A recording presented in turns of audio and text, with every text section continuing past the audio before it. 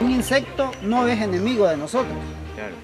Un insecto es amigo porque él no exactamente va a dañarlo a usted, él sabe de qué se va a alimentar. Aprender a convivir con la misma madre naturaleza, que ellos no son extraños de nosotros. Ni ellos, ellos nos ven como algo normal. Nosotros somos los que los hemos desconocido porque los hemos atacado ya por más de 60 años. Ah, entonces la vida de los insectos es similar, ¿verdad? Cuando atacamos a ellos, ellos se vienen en grandes masas y atacar también lo que nosotros menos queremos que nos dañen.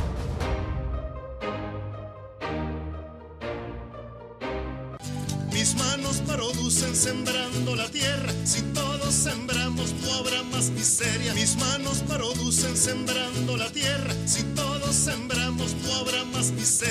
Trabajando en el campo es más digno